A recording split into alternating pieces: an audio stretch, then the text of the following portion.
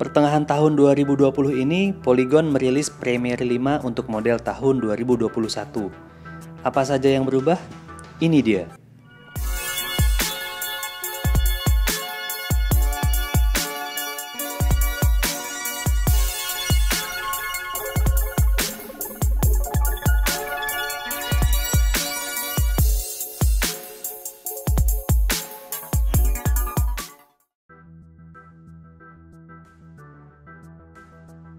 Model tahun 2021 ini ada beberapa perubahan yang akan kita temukan dari versi tahun sebelumnya.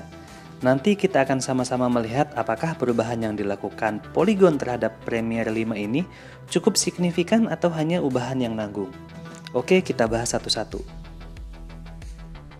Pertama dari harga dibanding tahun sebelumnya ada kenaikan 250.000 atau tepatnya jadi 4.750.000 Kira-kira dengan naiknya harga yang hanya 250.000, ekspektasinya seperti apa?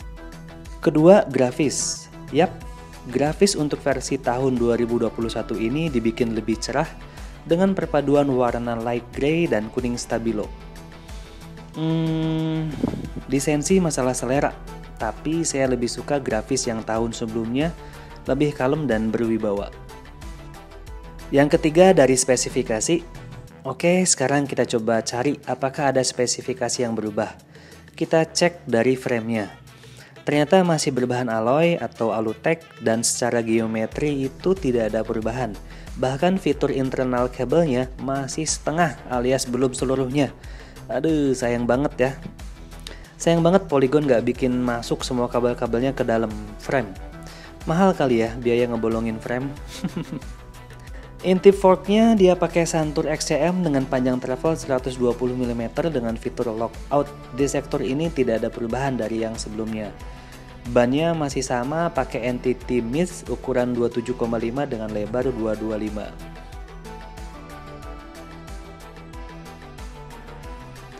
Seat post dan saddle dari Entity kita intip shifternya versi tahun sebelumnya pakai Shimano Altus 3x9 speed. Nah, untuk versi tahun 2021 ini jadi 2x9 speed dan masih pakai Altus.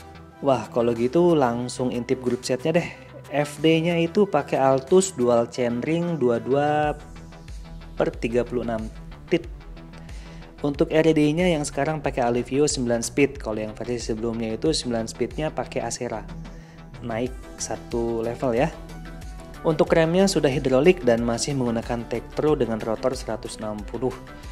Untuk selengkapnya, ini daftar perbandingan Premier 5 model tahun 2021 dengan tahun 2020.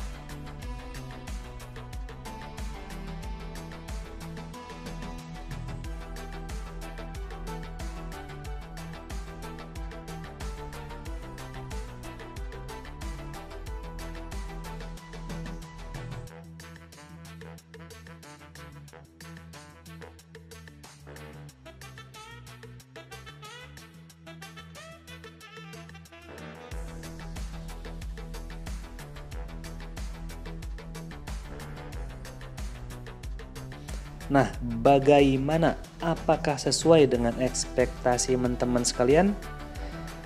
Oke, terima kasih sudah menonton video ini sampai habis. Terima kasih buat yang sudah subscribe, like, and comment. Kita bertemu di video selanjutnya. Oh ya, kalau mau tahu ada sepeda apa saja yang direview oleh channel ini, buka aja playlistnya dan lihat di playlist review sepeda. Siapa tahu ada sepeda yang kalian cari di situ.